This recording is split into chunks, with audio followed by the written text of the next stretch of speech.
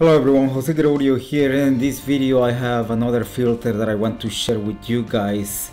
Uh, this particular filter is the 1.2 Tiffen, uh, the 100 Pro series uh, from Tiffen. So this filter is very high quality glass.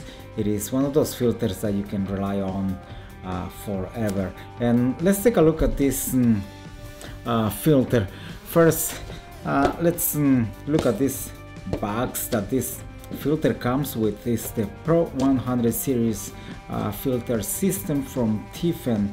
Uh, it also comes with the 77 millimeters adapter ring and four felt pads that we're gonna look in a minute because I'm using that filter uh, right now to film this uh, video now also comes with this very useful pouch that you can fit four filters in it and very useful.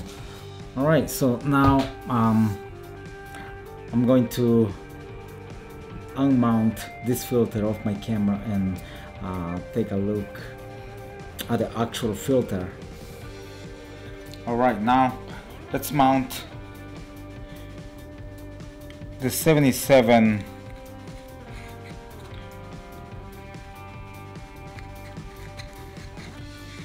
adapter ring onto a 77 millimeter uh, lens. Alright, this should this should go on very smooth. Alright, now it is.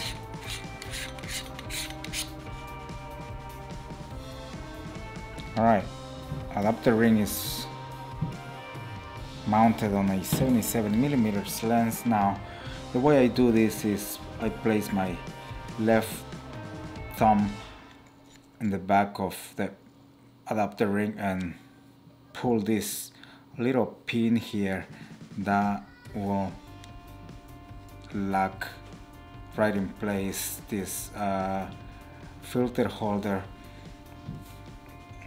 Now it's time to slide the 4x4 filter there. And I always place my left hand underneath the holder in case I drop it I can still grab it on its way down. But you don't want to drop this filter. Alright so this is how the 4x4 filter from Tiffen is mounted on a 77 millimeters lens